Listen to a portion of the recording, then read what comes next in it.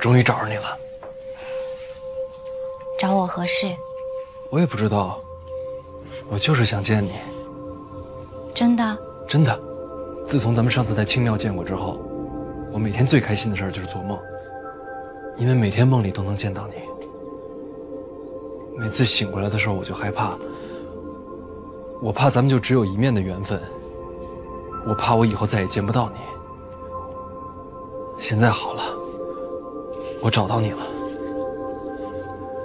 找到你，我心里就踏实了。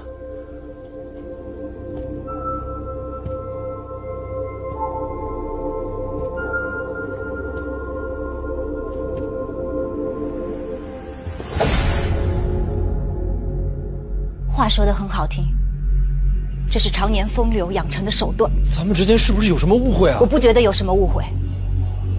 你说你是郭宝坤的书童，我让灵儿已经去问过了，郭宝坤身旁早已不设书童。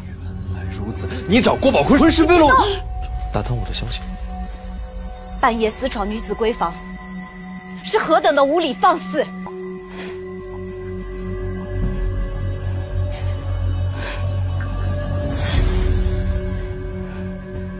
我白天你别动！招呼了，你不许动！你要是真不想见我的话，刚才那姑娘在的时候你就拔剑了。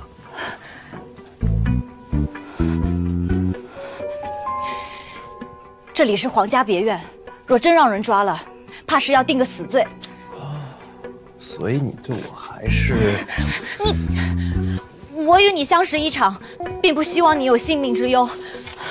可是，我也不想听到你这般言语。你真以为，你真以为我是那种轻薄之人吗？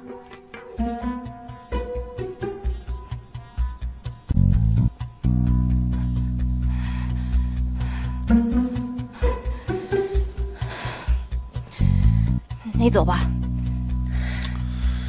你听我说，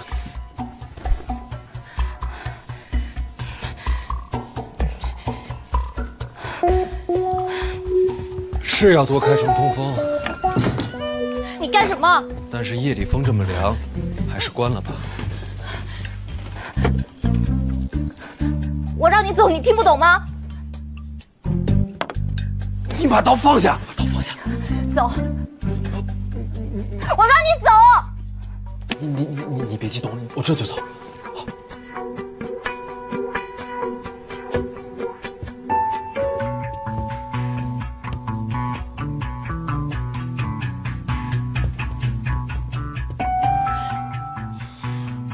我愿意走，不是因为我自认风流，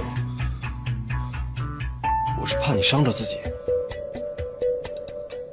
但是我刚才说的每一句话。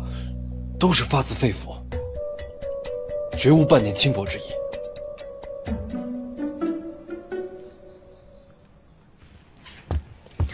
等等，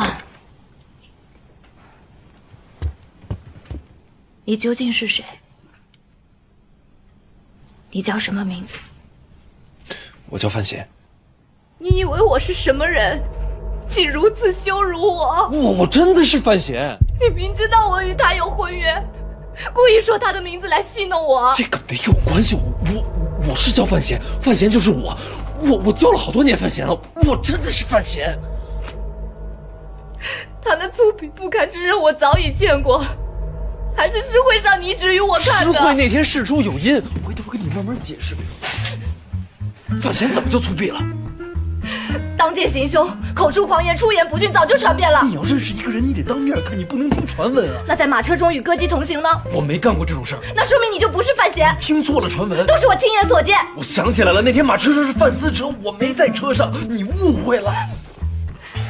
巧言善辩，我告诉你，你你再不自重的话，我对我自己真下得去手。叔叔白天与我同行，我若不是范闲的话，叔叔怎么会带一个陌生男子来见未来嫂嫂呢？久居京都，当知若若为人，他不会这么无礼的。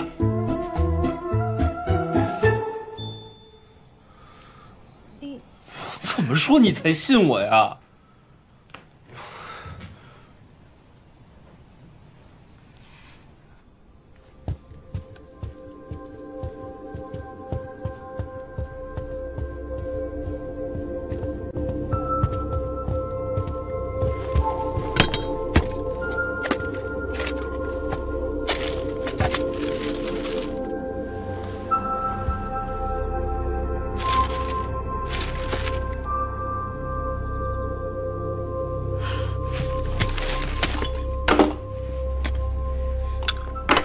你把那首七言写给我看。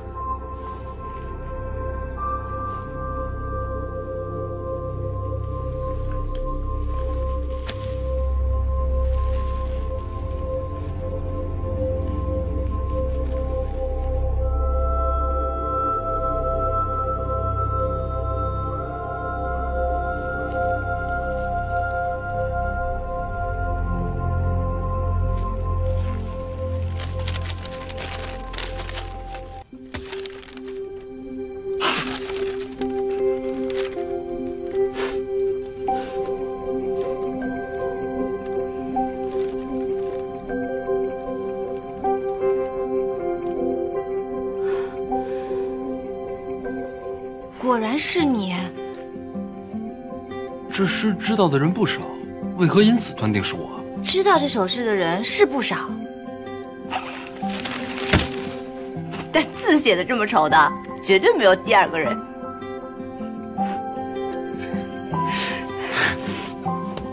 李红成给我的，相信我了吧？